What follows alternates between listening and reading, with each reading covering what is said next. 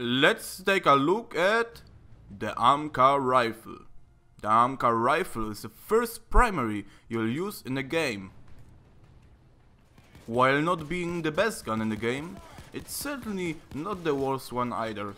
The biggest drawbacks of the weapon are the low magazine size at just 20 rounds per magazine, one of the lowest accuracies among the rifles and a very limited selection of modifications.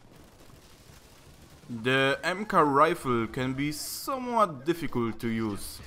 The AK and CAR-4 rifles which you unlock rather quickly are direct upgrades of the AMCAR rifle. The summary.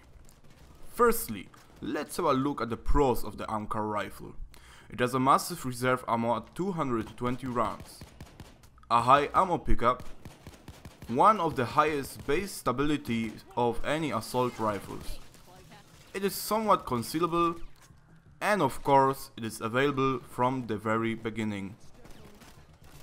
I recommend that after getting some money from your first heist, you immediately buy a new primary gun for your character.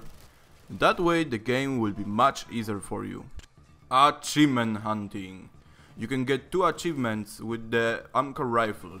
Firstly, you can get the collector achievement by killing 100 cops with a weapon of the AK or CAR weapon families. The achievement will unlock you the Chemot rail, the Krabs rail, and a Mother barrel for the AK weapon family.